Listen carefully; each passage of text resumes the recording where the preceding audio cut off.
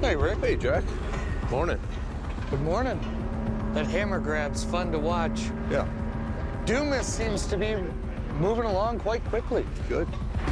As a new day dawns on Oak Island for brothers Rick and Marty Lagina and the members of their team, the hope that they may be on the verge of solving a 228-year-old treasure mystery has never been higher. Morning, Roger. Morning, Rick. How are you? Morning. How's it going? Nice to see you guys. Yeah. What's the depth? Oh, right now we're about 23 feet. Uh, we're going to be marking a little bit more, blowing that in, and then we're going to be installing another two sets. Oh, okay. Although a number of investigations are currently being conducted all across the island to search for critical clues and valuables, their most promising operation is underway in the Money Pit area with Dumas Contracting Limited, a mining company that is reconstructing the so-called garden shaft. The material's still just really mucky right now? Yeah, yeah. So it's kind of you can tell that it's it's it's backfilled clay, and, but you're right. They, they kind of were careful as to what they dumped in there. Correct. Based on numerous recent discoveries this year, the team has good reason to believe that this 80-foot deep, decayed wooden structure may be connected to the original money pit. Wood samples from the shaft have not only been dated to 1735, but water testing within it has also revealed high trace evidence of gold. In addition, it is also located in close proximity to a potential void or chamber that the team drilled into earlier this year at a depth of just 55 feet. There are some pretty concrete signs that say this might be the original money pit, or it could be right next to it. It could have been the original attempt, one of the original attempts. I really would like to see what's at the bottom of that shaft.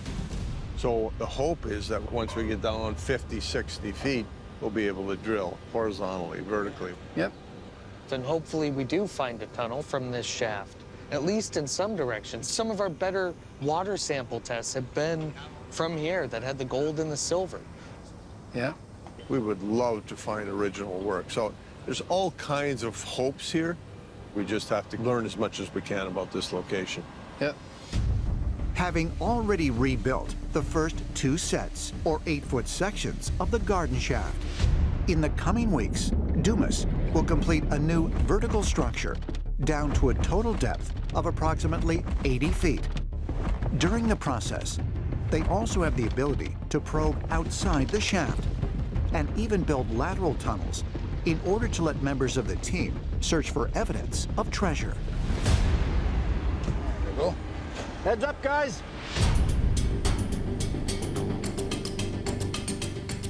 Here we go. Okay, tie lining coming down. Watch out. As the team from Dumas continues excavating and reconstructing the garden shaft, Hmm. That's pretty cool. Very cool. members of the team will be able to monitor the operation using the Inuktun Spectrum 120 high-definition camera. So we're fortunate enough to be able to put a camera down here with Roger's assistance. So, I mean, it's, it's a great tool for us to be able to see what's going on down there. It's amazing. The device, which features a lens that can pan 360 degrees, is not only designed to operate in low-light conditions, but is also equipped with a number of visual enhancement capabilities, such as high-powered zoom function. It really gives you an idea how small of an area it is. You see those two guys is, down there. Yeah. Do I believe that there's treasure at the bottom of the guard shaft? I'll be honest. I'm hopeful, but I just want to get underground the money pit. Let's get underground and exploit the opportunities that the shaft represents. I want to go down there. Zoom. It's an exciting day. yeah. Roger. Hey, how's it going, guys? Good. How are you? Good, good, good, good.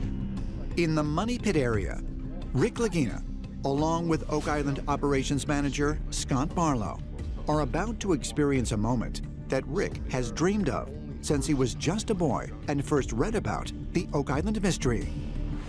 We have all kinds of emotions running through us, you know. Bottom line is we're radically changing the search agenda now. We're going to go looking for what's underground by being underground. That's pretty cool. Oh, I think so. I think so. But it's kind of bittersweet, like I was telling him just before we walked in. This will be our only first time underground in the money pit, so we better enjoy it, right? Oh, yeah, for sure. It's going to be a moment that we're going to remember the rest of our lives. Yeah, absolutely. So, Okay, yeah, so we'll do we get you to do? suited up. Also, I've got a couple of uh, coveralls for you guys here. Okay, cool. I got another one for you, Scott. Now that the reconstruction of the garden shaft has reached a depth of 44 feet, and after completing the required safety training, Perfect. Rick will have his first opportunity ever to personally go underground in the money pit area. Okay, guys, we're gonna head down there and we're gonna go see what we can see. Sounds good? Yep.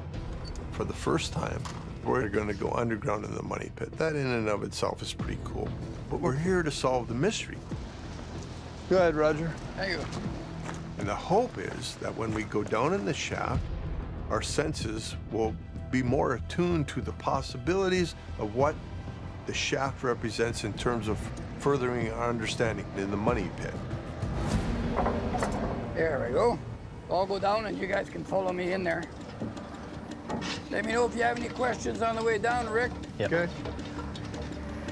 It's intensely emotional to be underground in the money pit where so many people who have come before us had that same experience.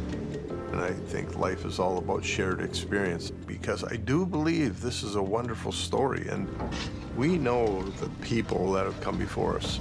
Their legacy now is being carried by us. Wow. Beautiful. I believed in Oak Island since I was a little boy. As a little boy, I dreamt of treasure and hidden wealth and booby traps and underground tunnels. Wow. And now that I'm underground in the money pit, I'm in awe. This is astounding. Oh, yeah. Yeah. This is pretty amazing. Yeah, it is, eh? So what you see below this set that we're installing right now, everything in there in the bottom that you see is all original. Wow. I mean, uh, not just the work you're doing, which is quite amazing, Yeah. but this is what is astounding. You're looking at history, right? To see how that wood has been preserved is it's unbelievable, eh? It's amazing. It's quite remarkable. Yeah, it is, eh? You look at the shaft and you think, my goodness, people long ago, they didn't have cranes. It's a testament to their will, to their desire, to their belief that where there's a will, there's a way. And there was certainly a will to their enterprise. Not only the searchers, but the original depositors as well. So, Roger, now that we're down near 50 feet here, I mean, it, Yeah. it- there's a lot of potential for other works to be in the area. Offset chambers and the tunnel at the 95-foot mark. Oh, for sure. There may be original work beneath this. You're right. And that's the, one of the reasons why we pound on that timber all the time, to see if there's any void behind us. But yeah, we're expecting to get some answers as to what happened here, why. Boy, this is interesting and it's, it's, it's quite phenomenal. Oh, it is. It is. It's been an amazing experience. You stand here and you look up. Yeah. I- I can't explain how I feel right now. Thank you. This, this has been very unique, right? Yep. Forever grateful for this opportunity. Really, really Good. appreciate it. Glad you enjoyed it.